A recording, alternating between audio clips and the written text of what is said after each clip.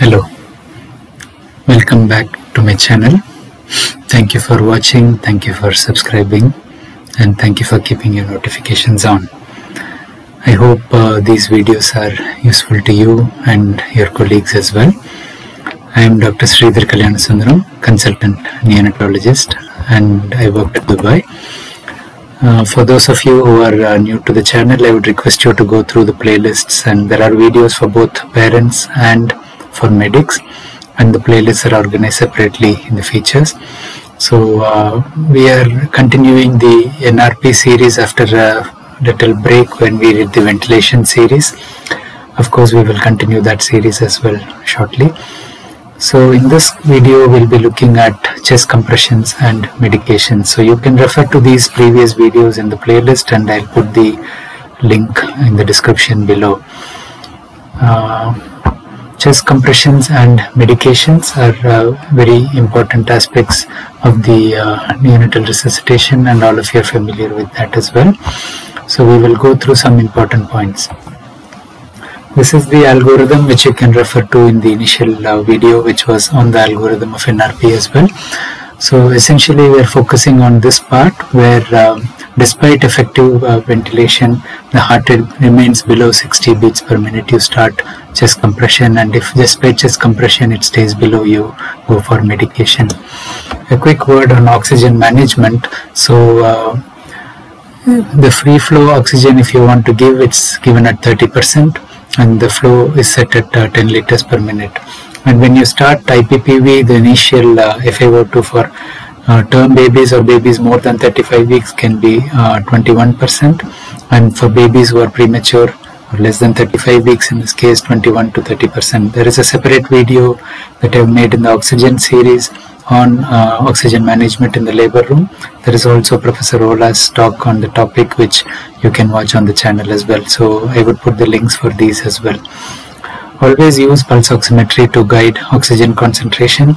And uh, the main point here I wanted to stress regarding the chest compression is that we should use 100% oxygen during compression. The main reason is that the circulation is not effective. So the pulse oximeter is not going to give you an effective reading to titrate the oxygenation. And these are the sickest babies.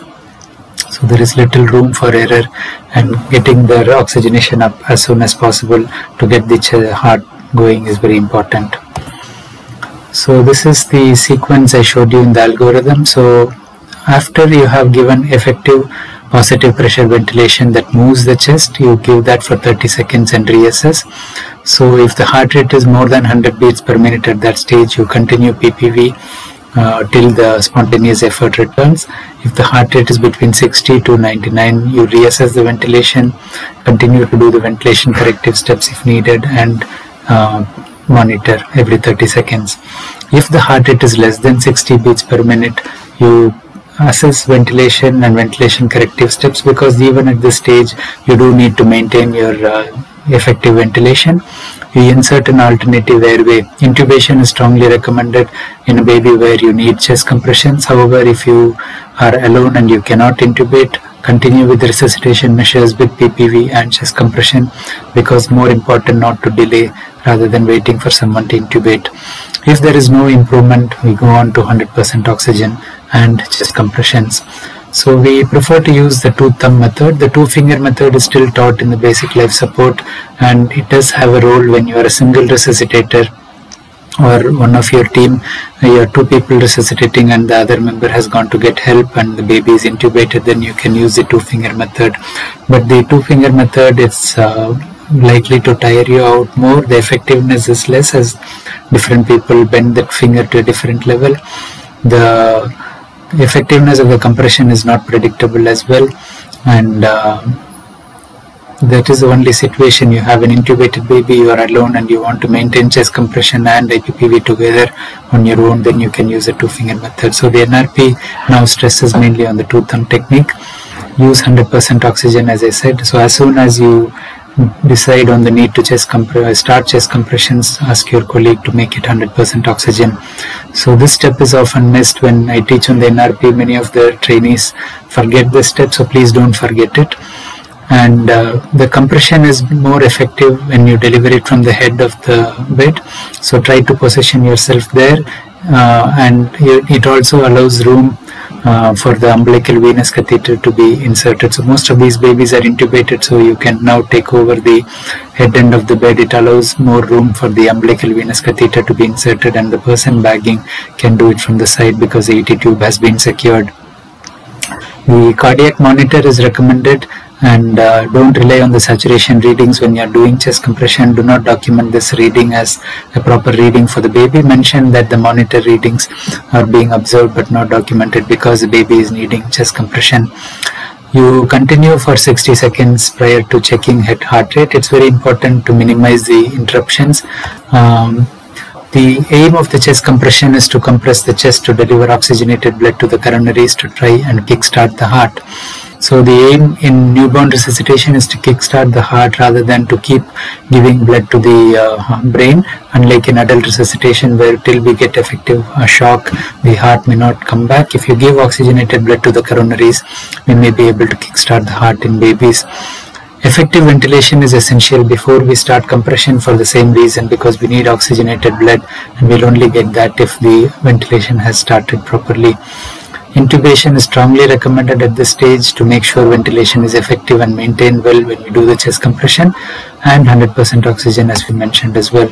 So the AP diameter previously we used to say in terms of uh, quarter inch or uh, to, I mean uh, 3 to 4 centimeters uh, to press and now with uh, half of an inch sorry half inch or um, 3 to 4 centimeters for the babies now we talk in terms of the AP diameter of the chest. So one third of the AP diameter of the chest is where uh, you aim to compress to. The uh, internipple line is still a good landmark. Um, lower third of the sternum uh, should be avoided. So the mid sternum one finger breadth below the internipple line avoid the xiphisternum. So uh, you have to compress to one third of the AP diameter. It's very important to allow adequate recoil so the filling happens in between your relaxation. So don't keep compressing the chest in between and the cadence of 1, 2, 3 breathe, 1, 2, 3 breathe works well because you aim to deliver 100 to 120 beats per minute and 30 uh, breaths per minute. So uh, we have to reassess as I said every 60 seconds or a minute to avoid interruption this is because uh, each time you interrupt and restart, it takes 5 to 10 compressions to reach the peak effectiveness of the flow. This has been analyzed on invasive monitoring in the babies where you have an arterial line. And this is actually recommended if there is a baby needing life support uh, CPR when they are having invasive monitoring already, for example, in the NICU. It's very important to switch roles every two minutes to avoid tiring, so the team should work together in the next video we will discuss team working and important aspects related to that and that will be the final video in the NRP series. We have to stop compression once the heart rate is over 60 beats per minute, but you have to be alert.